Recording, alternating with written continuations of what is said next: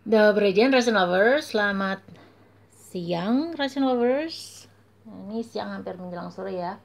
Today I'm going to make uh, cube rice kimchi kak kakdugi.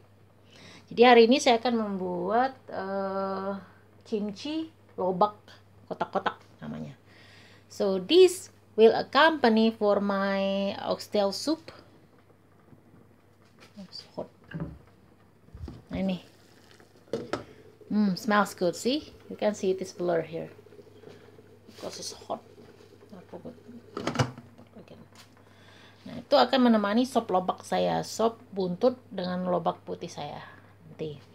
Bahan-bahannya, the ingredients, uh, of course this jar, you need this jar, glass jar, jadi toples kaca, sugar, gula, kemudian chili powder. I don't have Korean, we don't have essence store here. So we can use any kind of chili powder. Karena kita nggak ada ya Korean bubuk cabai Korea. Di sini juga nggak nggak ada toko Asia. Jadi kita memanfaatkan yang ada aja. Nah ini beret keras nih lote nah ini bubuk cabai kemudian spring onion dan bawang ginger. Nah, it's okay. It uh, not good but we can cut it. You can still use this. And then how many? One two three four five six. Six cloves of garlic.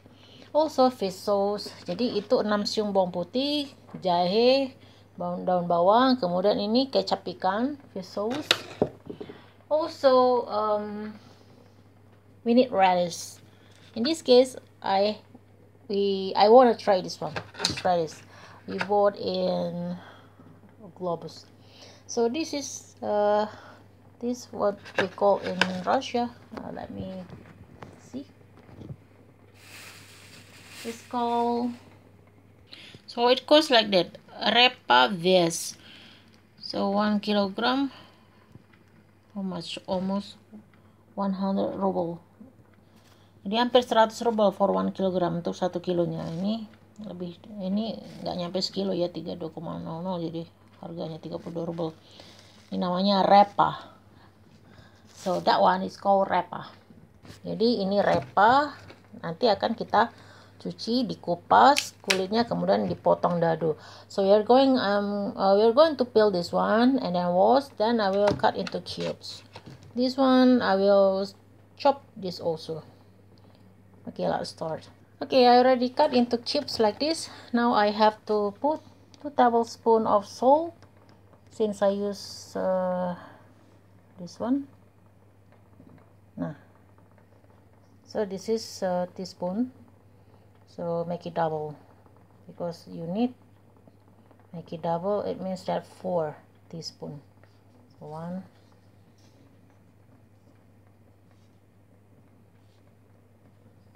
2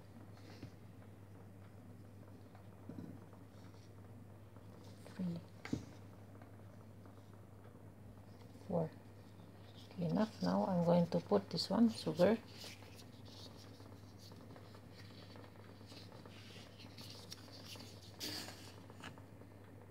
One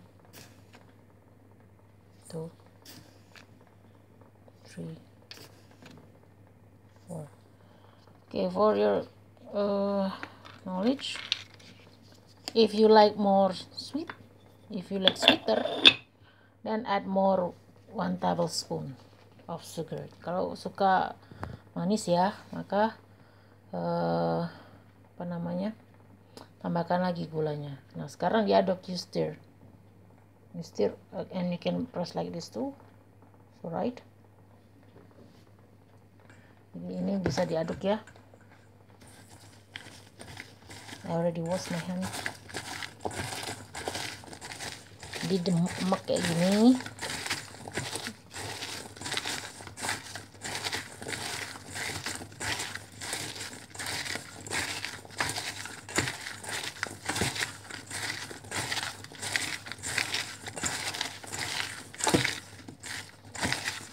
harusnya lobaknya besar. Di want aja sih sekebar awang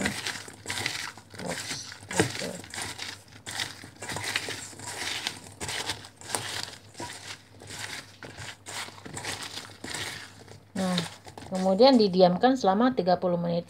Uh, step aside for 30 minutes.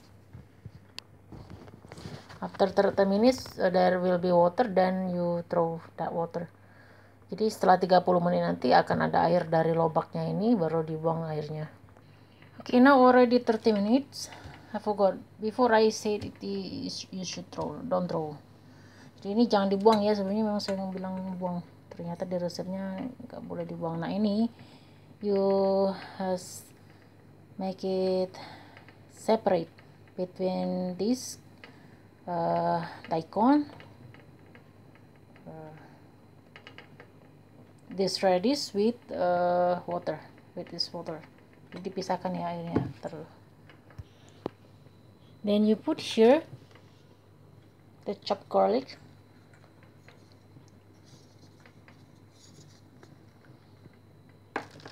And then uh, put also ginger. I already put ginger there. Also uh, four cloves of this one. Ini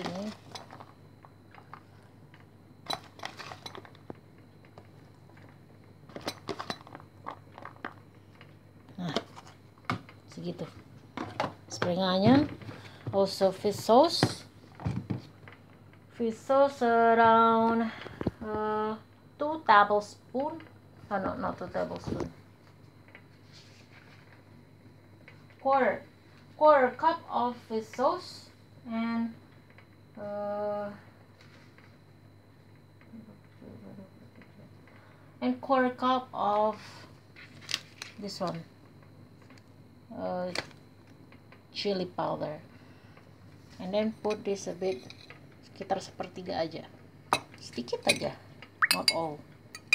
Just uh, put a bit of I don't know what is sepertiga but half then half then quarter maybe like that. Nah jadi gitu ya. Jadi tinggal masukkan uh, tadi sepertiga cup kecap ikan kemudian sepertiga cup air lobak tadi. Udah kemudian mes remes kemudian aduk. This is quarter of fish sauce.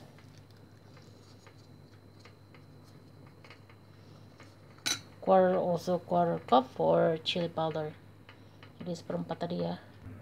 Okay now I already done. Now we are going to it seems lot sauce this one. It's okay. Karena dua cuma lobaknya harusnya lobak besar ya. Nggak apa-apa lah. So uh, we will move this to this.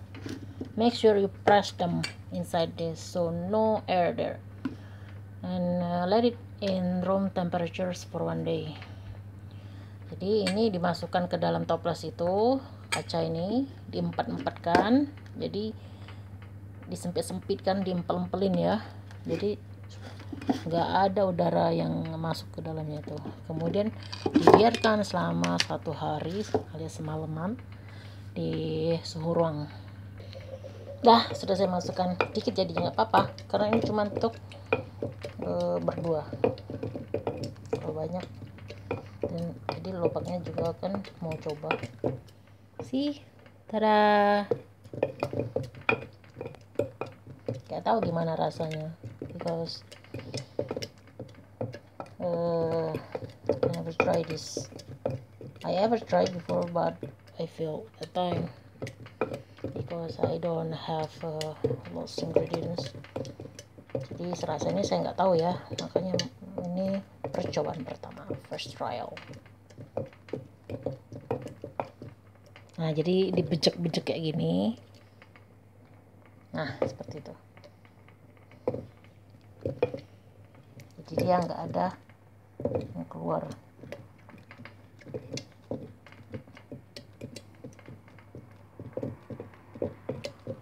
Dah.